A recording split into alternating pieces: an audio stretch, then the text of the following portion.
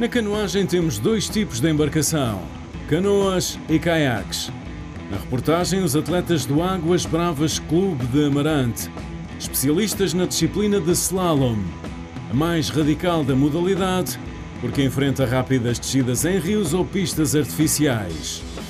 Vamos então conhecer os barcos. Aqui temos uh, o caiaque, é, vamos numa posição sentados, temos aqui à frente os fincapés, aqui temos a pagaia com duas pás, a diferença da canoa é que a canoa só tem uma e aqui a posição do caiaque vamos sentados. Tem o capacete para segurança e o colete que é obrigatório caso acontecer virarmos, estarmos salvaguardados.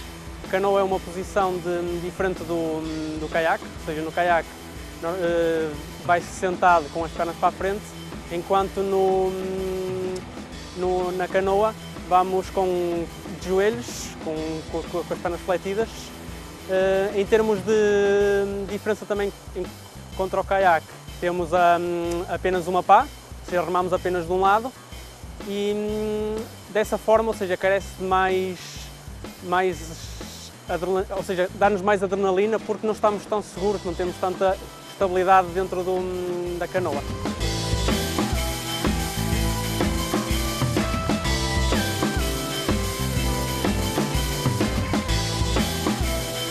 No, no caiaque acaba por ser uma embarcação mais rápida devido às duas pás e não, não posso dizer mais fácil, mas sim mais dinâmico, que tem um nível de movimento diferente, que é, pode fazer movimentos mais, mais variados pela facilidade das duas pás. A canoa é um, apesar de ter uma pá, é na mesma uma embarcação rápida, apesar de ser mais difícil controlar o barco, visto que é, é apenas uma pá.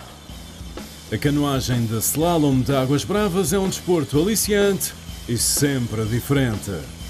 É um desporto muito diferente do, do que se vê hoje em dia.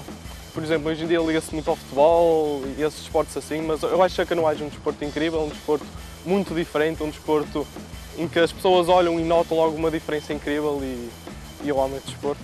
É, é incrível. Estar nas ondas, estar na descer os rios, é sempre uma constante adrenalina e são novas experiências todos os dias.